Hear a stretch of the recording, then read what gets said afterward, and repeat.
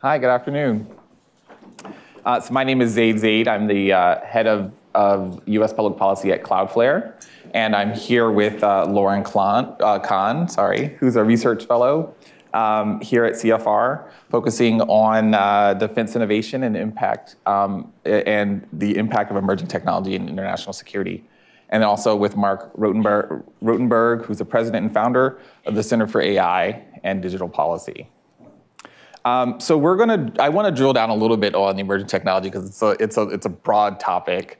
Um, I know we're gonna talk about um, AI specifically a little bit um, in more detail, but can we start, uh, Lauren, maybe with an overview of like, just what are the different, what are the different um, topics in emerging AI, the, maybe the top three to five different, um, different things in emerging um, technology. Sorry, I keep seeing emerging AI, emerging technology. Emerging technology. Sure, absolutely. So I focus on a security lens, so I'll talk about it in that perspective. I think emerging technologies, I would say, are you know, is a catch-all term. We're hearing a lot of terms about emerging technologies, edge technologies, things like that. I usually like to think of it as the cohort of technologies we see now that are more nascent. Um, but again, from a, things like artificial intelligence, quantum computing, things that are a little bit further down the line. But I also like to kind of categorize, at least from a defense and emerging technologies perspective, I think it's a little bit helpful to ground some technologies that have been around for a while as well that are either being used in newer ways or reaching maturity. So I kind of say there's like maybe three buckets, right? Where we have technologies that have been long-standing but are reaching maturity and are using are used more proliferated in, in different ways like things like drones that we've been familiar with but again we're seeing used in new ways on the battlefield like in ukraine and in russia. And then i'll say there's another category of technologies that are a little bit newer to the foray um, but again are not super new. Um, things like loitering munitions, you know, that have increased degrees of autonomy but are not as familiar as drones, and things again like AI and quantum that are a little bit more nascent. We're just starting to see the first kind of implications and the first applications of them in the battlefield and in international security contexts. And Marc, what about you? What would you add? Well, our focus is on artificial intelligence, but I would say about this topic, it turns out to be cross-cutting because we think about AI in terms of national security and defense policy. Uh, we think about AI in terms of consumer products and ChatGPT. And we think of AI as an enabler across many sectors of the economy from environmental protection to uh, medical innovation. So in that respect, it's really quite interesting how many different domains um, AI touches. Great. Um, so Marc, I want to start with you on a question about bias in AI. Um, it's not new. Um, you know, there there have been bias in AI since the beginning, but it doesn't seem to be getting that much better. Um, what what can we do to ensure that as we go forward, that we take that people are conscious of it and that we try to take some of the bias out of, of the tools? Well, I think the interesting challenge that AI poses for the bias problem and the protection of, of civil rights law or equal employment uh, law is that increasingly decisions that are being made in automated systems are opaque. So traditionally, we could look at a business, whether it was a bank making a determination about a loan or a realtor deciding which homes to show to, to a couple and say, well, there's some paper records, there's some business practice, at least something we can look at and try to determine if factors were being used that were impermissible, like race, like gender, like nationality. Today, we're in an era of machine learning, and this is a lot of big data statistical inference that generates outputs that even the people who design the systems can't tell you precisely, you know, why this person got the loan and someone else didn't. And so there's a lot of discussion about how to improve the transparency of AI decision making. But frankly, I think there's a real sense in this moment that that problem hasn't been solved. So if you said to me, how do we take out bias in a 1980s expert system that's making loan decisions, I could say, well, just open the box and look at the factors and figure out if those are permissible factors. But using a machine learning system today, I actually don't think we have a good answer. Anything to add to that? Yeah, I would venture, I, I agree entirely. I also agree that it's, I, I don't want to get too scary, but I think it's even more of a bigger problem than that, where it's not necessarily just that the question here is about bias by itself, but about fair algorithms. And is bias enough to kind of make sure that you have fair algorithms? And I don't think that's, I think it's one piece of the puzzle. But even if we did solve bias, it's not solving the whole problem of making sure that algorithms, again, are transparent, that they're explainable, and that we can kind of see the decisions that they're making and are making the decisions in the best interest of those using those um, systems. So. Great.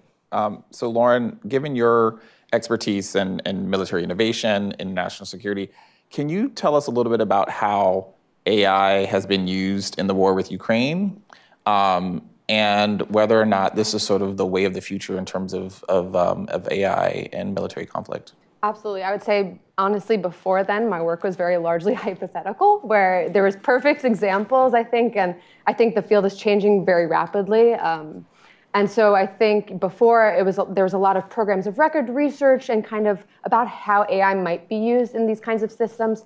There are things like that DARPA put out, the Defense um, Research Agency put out about you know Alpha Dogfight about having AI-driven pilots that are able to kind of you know do simulations and things like that. Um, and that was largely the kind of where the kind of discussion ended. Um, you know, there's been the Project Maven in the past as well about using AI algorithms to look through and sift drone footage, for example, were really the two examples that people like to express. I think that's totally been blown open now, and I think a lot more understanding of the implications and uses of AI um, that are commercial as well or beyond you know, the specific input on military systems. I think, for example, they're using natural language technology to look at and translate radio transmissions in real time. Um, they're using facial recognition technology to identify combatants and those, being, um, those injured. There's, and those are public technologies like Clearview is the facial recognition technology. Palantir is greatly involved in creating a sort of glass battlefield about you know bringing in all sources of information so that those on the ground know what's happening. A lot of combination with satellite data. So we're seeing a lot of these more emphasis on data and bringing in things together that I think is novel and again wasn't really seen beforehand. And so that states now are kind of watching and seeing how this can move forward. There's been a lot of investment in, of AI, but again, it's been very general. I think so now that states are kind of focused and zeroing in and really seeing how this capacity um, and these technologies can really help, you know, improve and generate efficiencies for forces. So if you're thinking about some of the stuff that was only theoretical before the war, like and and I mean, let's there, has been talk, a, a, lot of talk about, you know, um, what happens in Ukraine may impact how things happen in Taiwan between Taiwan and China. So what are you looking at theoretically that you would say, you know, might apply to China and Taiwan that we're not thinking about now? Yeah. Absolutely. I think a lot of the discussion about the pacing challenge with China has become a lot about technological competition, and that has been further reduced, I think, to a lot of the discussion about the AI competition. Again, there's been a lot of investment both from the United States perspective and the Chinese perspective, and a lot of um, individuals, you know, worrying what that means. A lot of people looking to compare publications in AI field and how much they're spending and things like that um, and have you know touted the ability of China to kind of move more quickly. I will be a little bit more hesitant on that. I mean, there's been statements put out um, by the by the PLA about you know having an intelligentized military that can use AI and use cyber and use amphibious assault all together in some miraculous way to you know potentially launch. Um, an assault on Taiwan, and while that's all well and good, it is very challenging. I think from a U.S. defense perspective, in particular, We've seen a lot of organizational and bureaucratic challenges, I think, when it comes to software in particular and these technologies that are not necessarily weapons, but also commercial. So about how how does that regulate? And so I think just because you know I don't think that China's immune to those challenges as well. And so I think that they're watching, and I think that United States is watching and learning about how these can be implemented. But I don't think it's a, a done deal necessarily yet. Great, thanks, um, Marc. I know you have looked at regulations on dozens of countries and how they're regulating AI. Can you tell us a little bit about where sort of the state of regulation of AI is, where the United States is, where we need to go? Um, what worries you? Great. Well, first of all, thank you for the question. Uh, secondly, uh, warning uh, advertisement ahead. Um, we're we're going to hand out for you this uh, postcard, which has a QR code for our uh, report uh, titled Artificial Intelligence and Democratic Values Index. I believe it's the most comprehensive uh, report of its type ever published. Uh, we looked at 75 countries in detail to evaluate their AI policies and practices. Uh, we have a 12-factor uh, metric to evaluate and score countries and then to uh, rank them. And we're trying to identify elements in AI policies and practices that, frankly speaking, favor uh, openness, pluralism, uh, respect for rule of law, respect for fundamental rights. I thought Richard's point on the last panel was actually very important in one sense. You don't you know, put everyone in two camps and then expect to be able to negotiate with the people that you've put in the opposing camp. But in the AI realm, if you break things down a little bit, you actually get some interesting results. I mean, Lauren mentioned, for example, the importance of fairness and transparency and accountability, by the way. So those are themes that you will find in national AI policies. And when we find them and where we see them being implemented in law, we say that's good. And interestingly, it's not just the nations, you know, the so-called democratic nations that are trying to establish these principles. Because in the AI realm, it turns out that you actually need fairness and accountability and transparency to create systems that are human-centric and reliable and trustworthy. So you can almost embed into your technical design certain political values that turn out, we would say, to be favorable. Now, there are also contrary applications uh, Clearview is probably one of the most controversial deployments of AI uh, technology because it does involve um, mass surveillance. But to your question, Zaid, it's very interesting to see, not only in the proposed Artificial Intelligence Act of the European Union, a prohibition on the use of AI for mass surveillance, You'll find that also in the UNESCO recommendation on AI ethics adopted in 2021 and endorsed by 193 countries, including, by the way, China and Russia.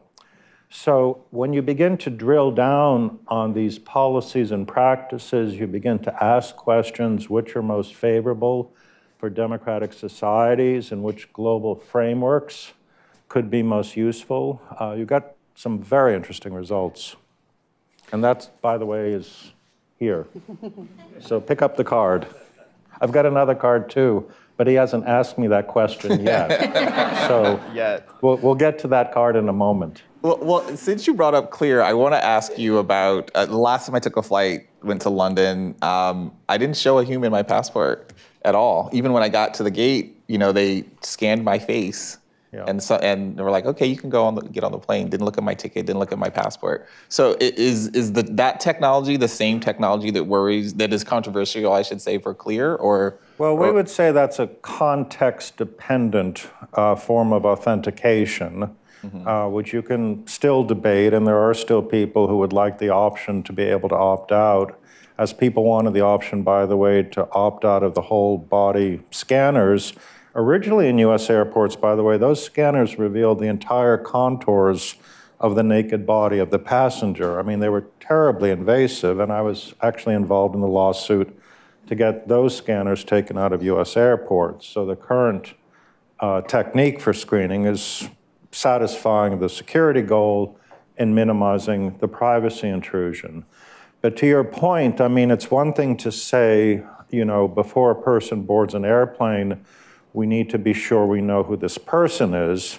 It's quite another thing to say, you know, if we have 100,000 people attending a rally in Washington, D.C., standing on the mall, that we have the technical ability and will, in fact, identify every one of those 100,000 people, and maybe, by the way, assign a score to them, an adverse score, because they're participating in a protest against the national government.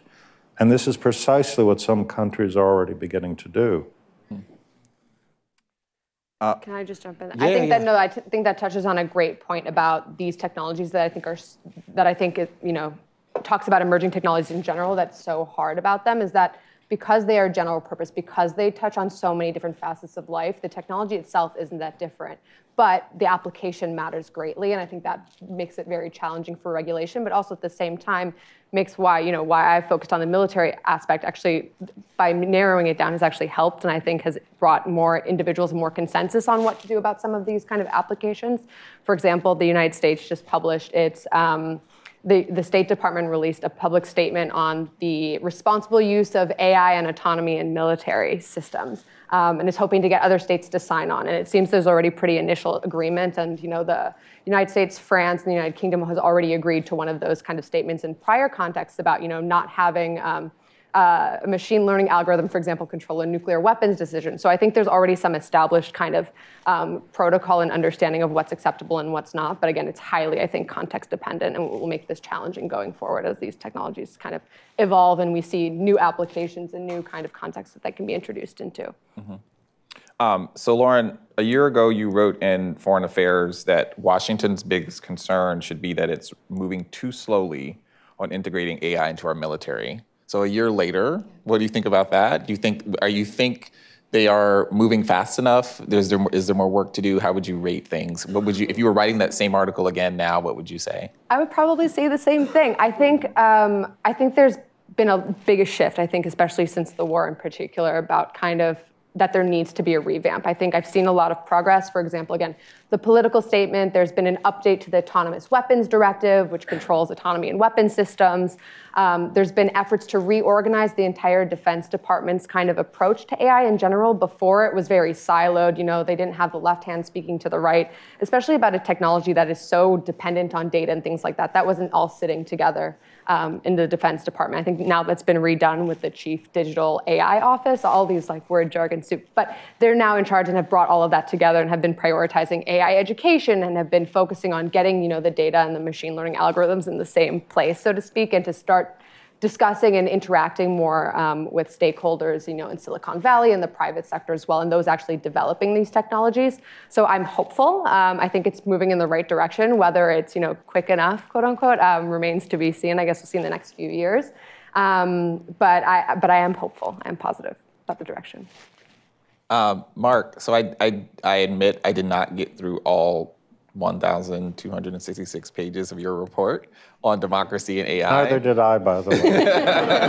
we have a big research team. um, so we talked a little bit about regulation, but that that question is different from democracy. So tell me about, tell us about um, what AI means for democracy, for voting for you know authoritarian control for everything. I, you've talked you, you've touched on on some of those things already, but what would you say?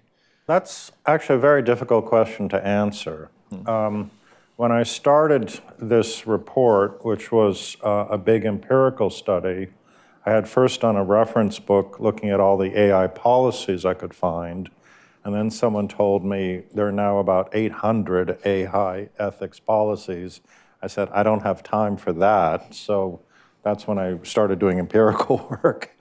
Um, I was genuinely interested in how we measure AI's impact on democracy, but I was also interested in how we get to AI policy. So in our metrics, for example, we ask questions like, are there opportunities for meaningful public participation in the development of a national AI strategy? That's a pure process question.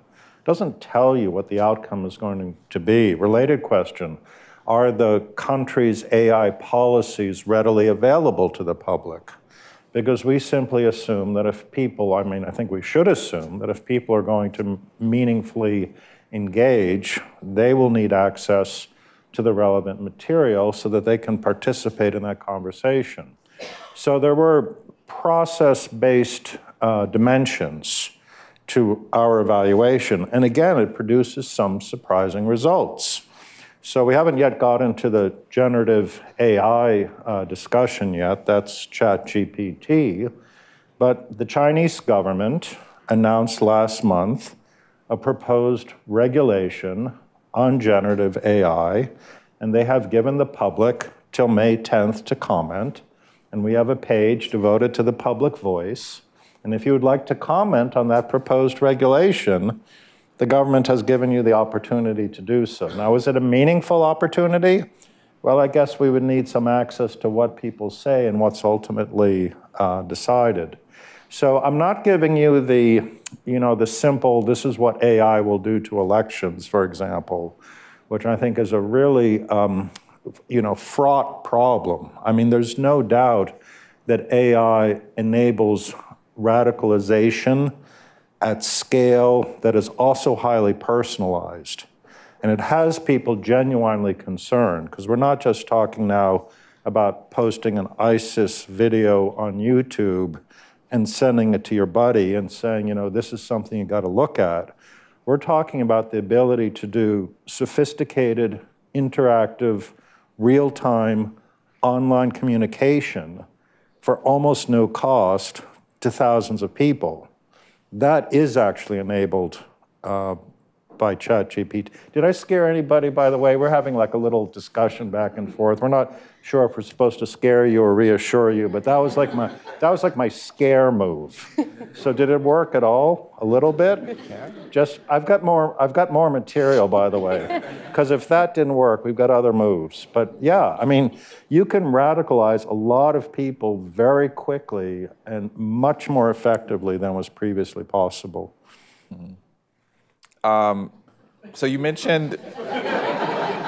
You, you, See, I did get you.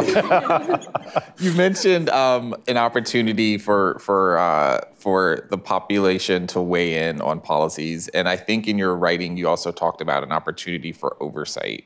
Um, what does AI oversight look like? Another great question. So we've you know been engaged in a lot of the evolving global policy frameworks. I was actually very fortunate to get on in the early days, which was like five years ago. We did something called the Universal Guidelines for AI, which received a lot of support. I mean, we had ACM, IEEE, these are all scientific computing societies, AAAS, you know, backing this. And there are 12 pretty good principles, and then we kind of push them along, and the OECD picks them up, and the G20 pick them up, and some of it gets its way into the EU AI Act and the Council of Europe AI Convention. But to your point, these are still kind of principles and frameworks, and they actually don't answer the question of oversight. Who's actually going to be responsible for doing those impact assessments? Who's actually going to say to a company, your product is not safe, we don't want you to make it available in the marketplace? That turns out to be a very challenging uh, uh, you know, lift for governments. Uh, I think the EU will come up with a pretty good answer in the AI Act. I don't think the US yet has a good answer, but you did see in the last couple of weeks four of the top enforcement agencies. So this is FTC, EE, I apologize, by the way, I'm from Washington, we talk this way. FTC, EEOC, CFPB, and SEC, all planning to step up their enforcement game in the AI realm. But it's not obvious, by the way, that any of them actually have clear authority on an issue like generative AI. So just to to to break up uh, or, or, to explain a little bit some of your acronyms in case people don't know them all. So the Federal Trade Commission, the Equal Employment Opportunity Commission, the Consumer Financial Protection Bureau, and the Security Exchange Commission. Right? He's also from DC, by the way. Very well done. That was the that was Good. perfect. Um, so we're gonna take questions from the audience in about five minutes. Um, but I but I want you know to we haven't talked about chatbots yet, so I do want to talk about that a little bit before we get um, questions from the audience. So Lauren, like talk of you know chatbots. How does that how does that uh, influence some of the work that you're doing and yeah. um, and and what you're seeing? Absolutely, I'm actually going to do the reassuring part now. I think that there's a difference. I think there is good cop, bad yeah, cop. Exactly, exactly. I think there is a definite novel risk. So with full transparency, I did some of the testing, for example, for GPT-4, for some of the red teaming. So my goal was to try and go be a malicious actor and to try and break it and to do dangerous things with a security kind of lens. And I wasn't entirely convinced. I think that there are definite risks, right? It can do it can give you a lot more personable information. It can lower the barriers to information entry. It can do all of these things, supercharged if used. However, is the relative risk that different from what security systems, what options are already kind of out there for these individuals. I think, you know, maybe I wasn't malicious enough in my creativity and how in trying to break it, but I thought, you know, if I was going to go do XYZ or try a denial of service attack on a website and wanted to do something, I was like, would it be, you know, someone who's coming out with no information, it might be a little bit helpful, but that margin is kind of not been studied yet, and I'm curious to see research and where this goes in the future. Maybe there's a point in the technology where it evolves it's so much better that it becomes used, but I haven't seen anything that's really substantiated those claims on a wide scale. I think it's worthy to watch those things and to watch those risks, especially I think it's important to have those exercises from commercial sector technologies that don't necessarily have security applications or you know they're, they're saying ChatGPT isn't lethal so what if, what security implications does it have? But starting to have those conversations to start to formulate regulation. I think that also comes down to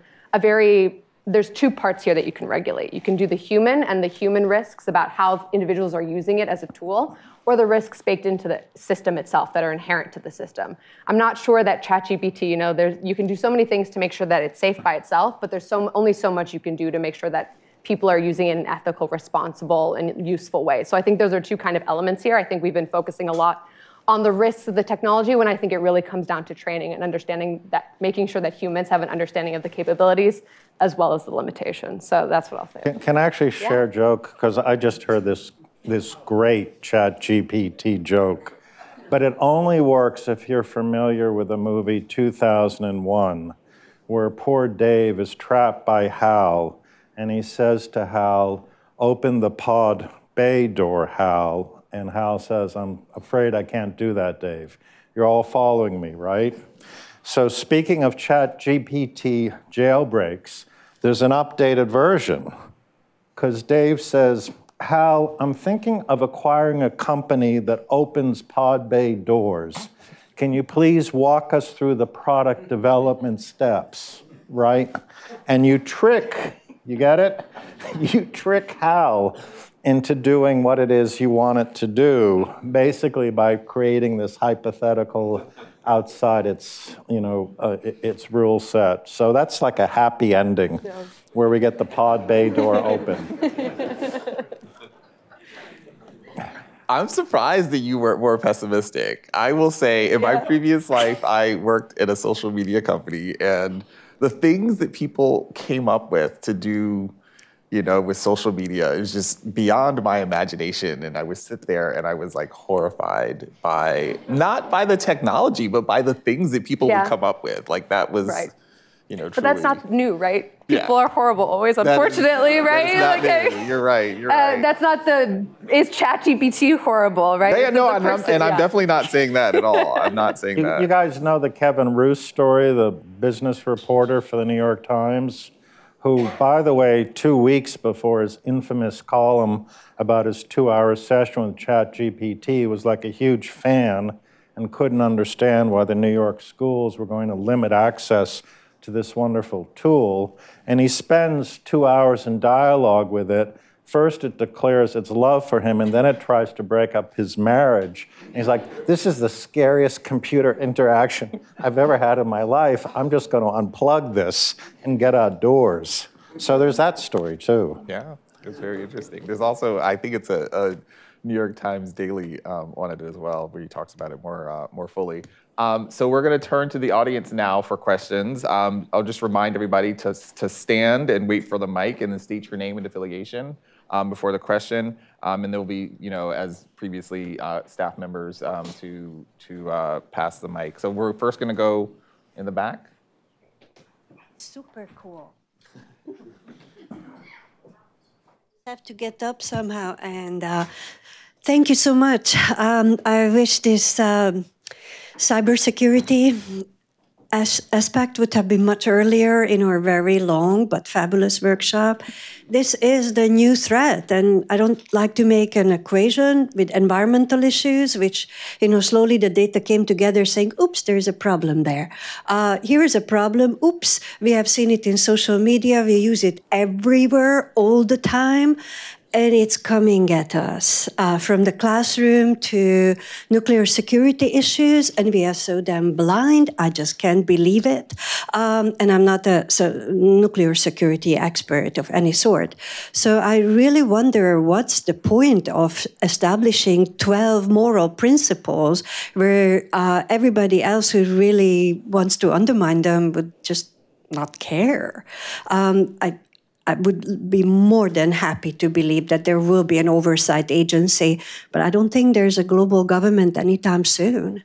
So I really wonder how, what kind of possibilities are there besides the ideal that oh we will all work together and hold hands and walk in that lovely Alexa enhanced uh, reality. Thank you. Yeah, we'll, we'll do our next session on virtual reality and have, have that kumbaya moment uh, uh, for AI. Uh, but since you didn't ask me about the second postcard, I can get that into your question. Um, here, here, and I still have a laptop sticker for you, by the way, but that's going to require another question. So, what we are trying to do is to get the Federal Trade Commission to issue something more than press releases and we have squarely put before the FTC a 46 page complaint that explains many of the problems we found with ChatGPT, including bias, including cybersecurity, including risk to children's safety, and the most serious problem, detecting whether your students might be using it. Probably should have put that at the beginning, but anyway, long complaint. But we are, in a sense, trying to force the federal agencies to take an action, any action, much like the Italian privacy agency did just a couple of weeks ago. And interestingly, they announced a ban in Italy through the privacy agency because of the violation of certain privacy rules. They just lifted it uh, today, in fact, because OpenAI agreed to some modification. And this is my view, actually, of how we make progress in this space, that if we can engage the regulators, shape the business practices, make the companies more accountable, I don't think we get to a perfect solution, but I think we get to a better solution. And we can still do kumbaya.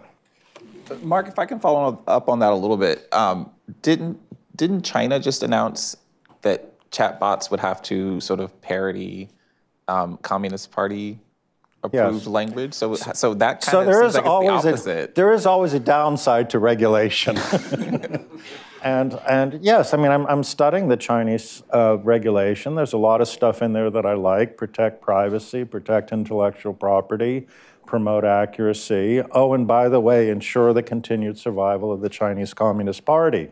Well, okay. I mean, you know, treat it as an a la carte menu. Take the items you like which, by the way, is pretty much what the Europeans did in the last minute modification to their AI Act. This is just in the last week or so. They said intellectual property, we're going to do that. We're going to do privacy, we're going to do accuracy. We're not going to uphold the Chinese Communist Party for, for the European Union. So I think there is a way in this space to take the, the proposals you agree with, incorporate them in your legislation, and push them forward.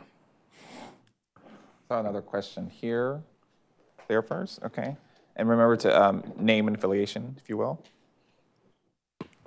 Thank you so much. It's fascinating. Um, so you're talking to vast majority of college professors here, right? Um, my, sorry, Kimberly Pace, University of Alaska, Anchorage. And my question is about ChatGPT and uh, what, if anything, can we do um, because there's not a lot that will catch it. Um, SafeAssign doesn't really say this has been written by ChatGPT. Um, I'm just wondering about, because there's lack of oversight, what can you do to assure us that um, something good will come out of it for, for the college professors who are in the process, I mean, we are all, I don't know, I'm in finals week next week, and I've got a lot of papers to grade, and I'm concerned that sounds like a trick question. It is a trick question, but I have faith and confidence that you will have a tricky answer. Do you want to? Um, I can talk about it, I guess, again, not exactly from a, I think this is a broader question about the technical implementation of some of these regulations. I, I don't know the answer, honestly, for an education perspective. There are tools that are things like watermarking, things that you can kind of identify that are, again, can be built into the systems and part of that regulation. And I think why, again, the private sector needs to work in close collaboration with the government on these efforts. And I think honestly connects to the question that we had before about what are the kind of values about putting out these principles when we don't have ways to kind of enact them, right? How do you ensure, it's all well and good to say, we want, again, a system that is responsible and transparent. Okay, how do you measure transparency? What kind of metrics are you looking at? How do you ensure that? I think that's going to be, a, I think some of those problems are tractable engineering problems, but I think some of them are a little bit harder and there needs to be kind of a broader philosophical kind of agreement about what kind of level of accuracy is acceptable, what kind when is it useful to have an AI system in place versus a human in what kind of context. I think that is going to vary greatly based on the application and will depend, but I think it's a very again, it is a very hard tractable, tractable, excuse me, engineering problem. Yeah, Marc. I think it's a very difficult problem. I mean, you know, I'm teaching this semester and I said to my students, well, you use ChatGPT to write your papers, I'll use ChatGPT to grade you. But, you know, it doesn't matter because the registrar says give everyone an A anyway. So that's, oops. but I mean, I, you know, I'm familiar with some of the technical solutions. There is, of course, ways to watermark, but, but no student who's aware of watermarking is going to do a simple cut and paste. There are always ways to get around those kinds of, of measures. Um, I am genuinely concerned, and I've written a little bit about this, I think the need for critical thinking in this moment, which has always been part of our liberal arts education tradition, is actually greater than it has been in the past, precisely because we're about to enter an era where a lot of the words we read will not be produced by people. And our ability to interrogate and understand how to question and how to reason actually becomes more important. Um, I, I heard a pretty scary talk by a really thoughtful guy named Louis Rosenberg, who's looked at the issue of ChatGPT and manipulation, and he's really drilled down. You know, whatever concerns you may have about how advertising manipulates opinion, what you can do when you begin to personalize and when you profile and when the person who's on the receiving end of the conversation actually has no of the indicators that we have when we interact with one another, it's entirely an asymmetric uh, relationship of power. So, um, again, trying to scare you. Um, at, at, the moment, unfortunately, when students are getting tools that allow them to sort of detour around the learning of critical reasoning skills, they actually have a greater need to develop those skills because of what they're going to encounter in the future. I think an also interesting point, just a distinction that I've noticed in speaking to those working in these fields, depending on how the information is presented varies greatly. I think a lot of the conversation, why we're talking so much about ChatGPT, is people find the text very convincing, but similar advancements being made, for example, in computer vision, aren't having the same impact because individuals aren't as convinced. They can notice anomalies or things that don't quite match up there. So I think that's just an interesting aside. And for, again, academics in the room, please look into that for me. I'm very curious um, to see if that's based in you know, behavioral cognitive science as well. Our next question right here. Thank you. Barry Driscoll, political scientist at Grinnell College. Uh, interestingly, um, I wanted to get people's names when I was on the flight over here to see who would be with me in this workshop, and I didn't have the CFR materials. I used uh, ChatGPT and I just wrote the words, um, this person X, I had your name. This person X is probably a professor in the United States. Uh, write me a bio, and I got bios for almost everybody in the room just from writing that. Um, and then uh, one of my. What's that? Well, of course, I have no way of knowing. I have to assume that they're accurate, which is part of the problem. And then one of my advisees emailed me and said that a um, cover letter she had written for potential employer was written by ChatGPT. She just told me that with a smile on her face. We had to talk about it. um, the specific question is um, about the um, in, in, DC, all these potential regulators, uh, the acronym SOUP that you mentioned. I'm interested in who's lobbying and who's engaged in the conversation with those regulators or potential regulators. Civil society actors are, in the form of you. Um, what other kind of actors are you seeing lobbying? Well, to be sure, the, the business groups have strong opinions, but it's actually fascinating. And I was speaking about this uh, at a conference earlier this week. Um, the U.S. Chamber of Commerce, representing U.S. business, put out a paper last month calling for legislation for artificial intelligence.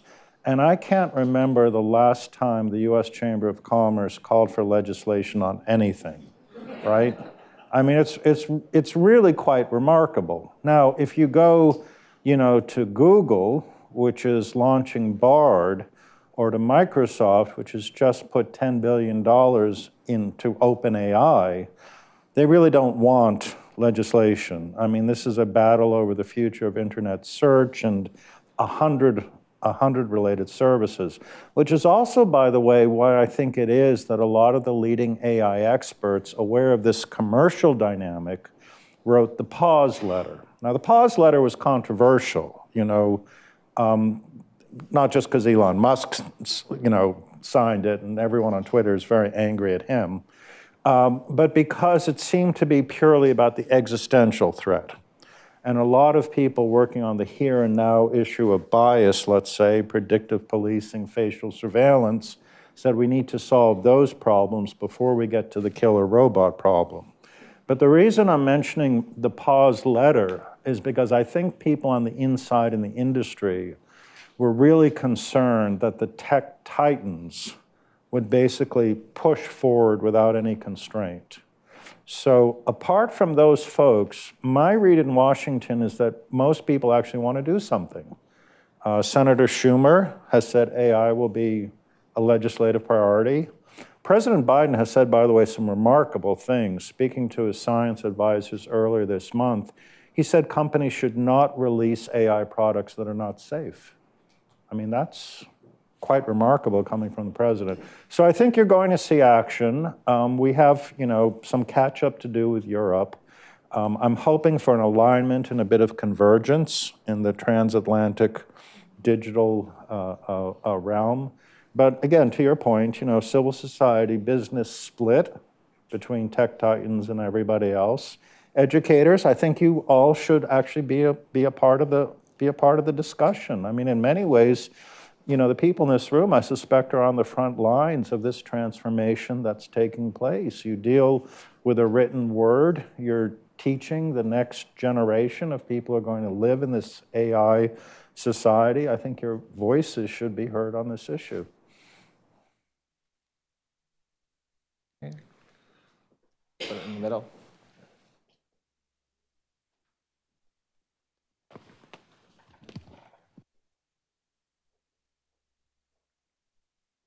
So, Sabrina Safrin from Rutgers Law School. I want to uh, build on some of this uh, regulatory uh, question, uh, issues that you've been putting out. I have two questions. Number one, how you, you described how in the United States we're seeing a division between the tech titans and everybody else. I'm wondering if we're seeing that division in other countries, or does it? Where are the countries lining up in terms of wanting regulation or no regulation? And then my second uh, question is linked to that, if there's any press for there to be an international treaty on this, like there was with biotech. Right. Um, so I think it is really pretty much in the U.S. Um, it's you know Google, it's it's Microsoft, it's Anthropic, it's a couple of other uh, firms that are heavily invested, and it's an it's an understandable business dynamic. I mean, I'm, I'm not being judgmental. If Microsoft pours $10 billion into a company, I assume they're expecting some returns from their investment. But you don't see that elsewhere in the world. And, and even in China, where there's been a lot of success building you know, vibrant tech companies, I think the CCP has made clear that they're going to keep those companies in check so that they comply with the regulations that the governments have established. Now, to your second point, we're actually involved in the effort to establish the first AI treaty. and this is underway now at the Council of Europe. We just held the fifth meeting in Strasbourg, the fifth plenary session, heading toward uh, the finish line. I think it's a, it's a good framework. Um, and by the way, Council of Europe treaties can be ratified by member states and non-member states. Cybercrime Convention was ratified by the US and Japan and Canada. So there's certainly uh, a future in which the US uh, signs up for this AI treaty. Um, there's a bit more work to do uh, to get this done. There are big questions about oversight and enforcement not yet resolved. And in a little bit of European skirmishing, the European Union wants to get its AI Act done before the Council of Europe does its treaty. So we've got to get the AI Act done, which likely happens uh, early part of the second half of this year, and then the treaty follows afterward. I'll just add from a security perspective, there's pretty, it seems pretty receptive to something like, not necessarily at a treaty level, but a confidence building measure. So something informal, guided principles. Um, I'm pushing for something like an autonomous incidents agreement, potentially, something like the incidents at sea agreement. Um, seems to be a little bit kind of within the works. So. Right. Um, we're going to go here, and then do you also have a question? We'll go after you. After him. Uh, JP Mataloni from the Navy War College. Um, so I, I, I, can't remember when it was in the panel, but you'd mentioned something, Marc, where you were like, I don't have enough time for that. And I was wondering if that's going to be like the new catchphrase that leads to disaster um, using AI, uh, kind of like the, infamous, like, uh, you know, hey, wait a second, hold my beer. Uh, so, uh, but I was thinking about decision making and the future application of decision making uh, for AI. And some of this might be used currently, but maybe something that's off in the future. And so a lot of uh, military applications are, you know, what is my percentage or probability of success for something? So I want, I want a dashboard, I want a looking glass, a window pane. It's called a lot of different things these days. Um, and and I want that assurance, essentially, right, that whatever action I'm going to take has a has a, a, better chance of success or or not to, to take it. And so, uh, you know, if you if you could comment a little bit about that as a future application, it doesn't have to be just military. Of course, there's many ways that that can be applied um, through through uh, you know other civilian um, and public enterprises. Um, but anyway, for what you see for that today, and then and then what you think the role of AI is in terms of uh, decision making. Yeah. Well, I'll leave um, to Laura, I guess, the broader um, national security dimension. I will say I was very interested in an AI program that Facebook developed called Cicero, which did very well in diplomacy. And Cicero, I'm sorry, diplomacy is an interesting game because you both make commitments and you break commitments, and there's a bit of poker like bluffing. I mean, I'll leave Austria alone as long as you don't, you know, touch me in Italy, but hey, you're not touching me in Italy, so now I'm going to Austria, right? And, and the Cicero program, is that me? Oh, sorry, that's an AI. Um, um, Cicero actually.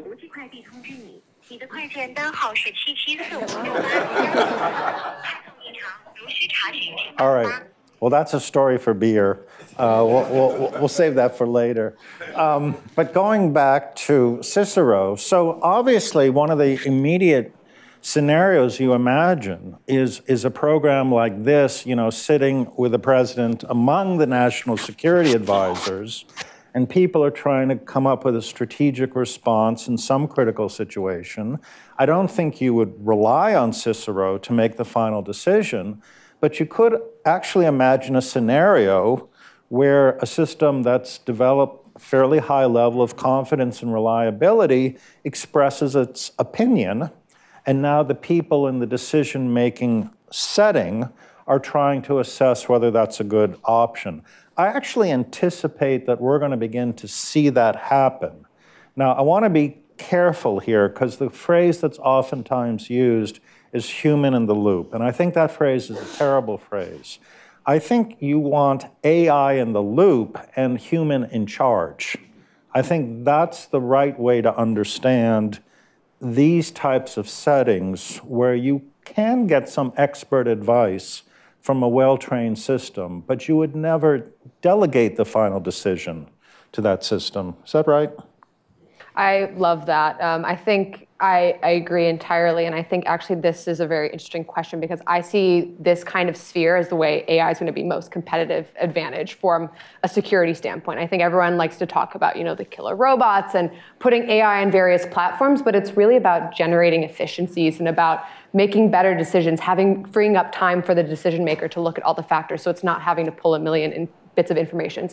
On the other hand, I don't want to do the bad cop thing, but get where it's scary. This is where the human and the human reliance on the system becomes really challenging, and training becomes exceptionally important to make sure that it doesn't become a situation where the human is just relying and cognitively offloading to a machine, that they understand that they're making the decisions and when or not to trust. This is something, a, a bit of a passion project of mine. I'm definitely doing research on rates of automation bias. When are people more likely to trust a machine or when are they more averse to it? And I think that comes into trust and making sure and confidence in building expected kind of accuracies about these systems and things that we can make sure that they are, you know, explainable or that someone can see what they're kind of doing. I think that's going to be a necessary precursor in order to leverage that to its full capacity for I'm, sure. I'm just going to add one more word in the national security context. So you also see the risk in the scenario I anticipated.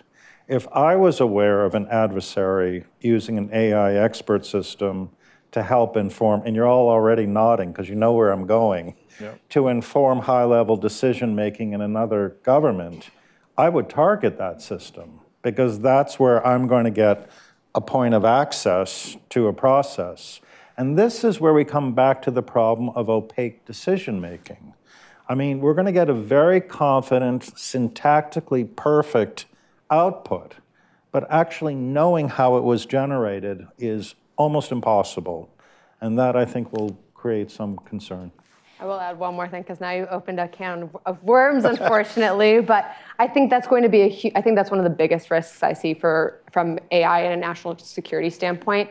You have the risk of inadvertent escalation, where you know accidents. You can't say who who made a decision when an AI, for example, is in control you have that could potentially lead to unintentional conflict or accidents. I think those are the three main risks I would say there. And again, it comes from you know what what happens when there's an accident and that you have to convey, oh, it was the AI, it wasn't us, right? To an individual, how do you signal that effectively? How can you point to something and show an adversary if something happens? So I think that's a very real, real technological concern. There's been maybe we can do watermarking for like algorithms, but like how how how can you actually do that? It's a very hard question for sure. I'm gonna go in the middle of the room and then to the to the back. Middle of the room first. Uh, thank you. Carole Petersen from the Law School at University of Hawaii. So I have a quick follow-up on that, which is I've been reading a lot about underwater drones in the South China Sea. And initially it always seemed that the assumption was there would be a mothership or some human control back there. But increasingly I've been reading that both China and the US have been working on systems that could be fully autonomous or just about autonomous. So I'm wondering what your views on that, because I mean, I could see a situation where China is patrolling its nine dash line with a lot of autonomous underwater drones. Is, is that a possibility? I think it's definitely a possibility, and why I've been advocating for. We see remotely piloted aircraft are not analogous, but at the same time, you can kind of see where the technology is going. And so I think now is a really opportune time to have something like an agreement that I mentioned about how do you treat an autonomous systems? Are you more likely to shoot it down? Are you more likely to take it over? What kind of protocol are necessary? And I think there will be a. I ho- I'm hopeful that there will be some, you know, mutual. Um, kind of uh, interests on that, and that something like that would be established. I'm hoping to see that as a follow-on from the um, political declaration on responsible AI and autonomy. But again, this is very much my wish list, and whether or not that'll happen, I think, is dependent on how quickly these technologies are kind of going to going to emerge. I hope it comes out before we see them used widely, um, but I'm not sure that that's the case. Go in the back of the room. Thank you, uh, Stephen Long, University of Richmond. Um, I, I, can't help but notice a bit of a, a, difference between this conversation and what I heard last year at the Stockton Center at the Naval Academy, where they did an ethics and AI in the military uh, panel and they had I forget the man's name, but he he was in, he was a general in charge of a joint AI task force across the services, and his presentation was really largely about the competition with China. And he would refer to the US being six months ahead or eight months ahead of China. And it, it felt like this big, massive other thing in the room where we, we very much want to do it right, and I think Europe definitely wants to do this right. And on the consumer level, now that everybody's aware through ChatGPT, we're really talking about it. But there was also this sense of a military imperative not to go too slowly, as, as you had said, Lauren, not to go too slowly because China will get there first and get some unseen advantage. And I, I just can't help but wonder if it's a bit of a kind of a race to recklessness, like a race to the bottom in how thoughtful countries are going to be about AI. And how long can we resist that pressure to keep up with governments that might not be taking the time to think through the long term implications? Thank you. So let me say a couple of words on, on, on this point. I've actually been in a lot of meetings um, on this topic. And to be sure, particularly in Washington, um, there's a lot of focus right now on China. It seems to be the one area where there's, you know, bipartisan uh, uh, support. Um, and my view is that the competition is very real. Uh, the competition is very real in the national security realm. It's very real in the scientific realm. It's very real in, in the commercial realm. Uh, China, without question, intends to be the world leader in artificial intelligence, and it believes that if it achieves that goal, it will have sustained dominance in the 21st century digital economy. I, I don't think that's really dispute.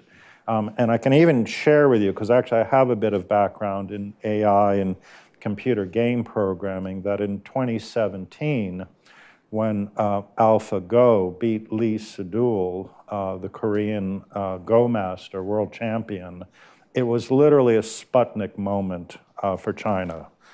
This was a US company, uh, Google, uh, defeating a game that they simply assumed could not be reduced to a computer-based problem to solve. And they went into high gear.